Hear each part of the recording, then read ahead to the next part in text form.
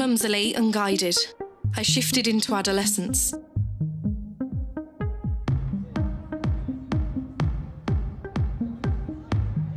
My peers moved with certainty, like chess pieces across a board.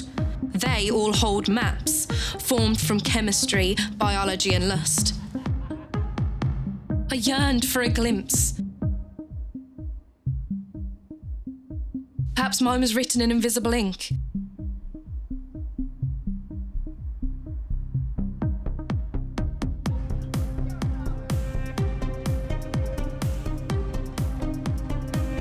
I wandered lost, unsure of myself.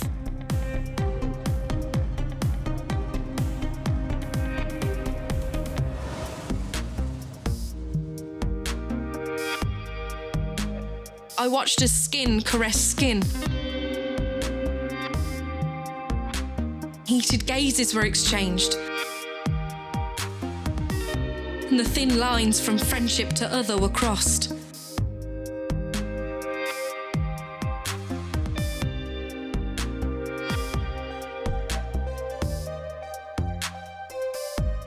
They planned the way that I would love and who my affections would pour into.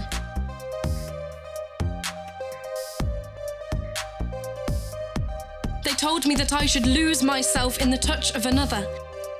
But the tangled mesh of fingers doesn't appeal. In my dictionary, caress and aphrodisiac are oxymorons. I have no desire.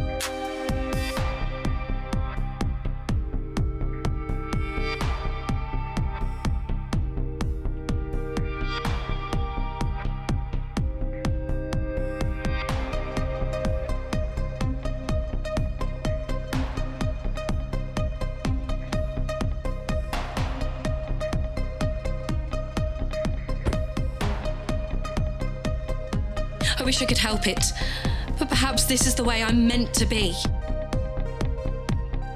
A question I have asked myself time and time again where do I fit in?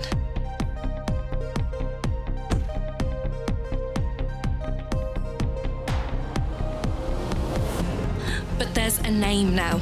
It wraps around my tongue and fills me with hope for future generations also born without a map.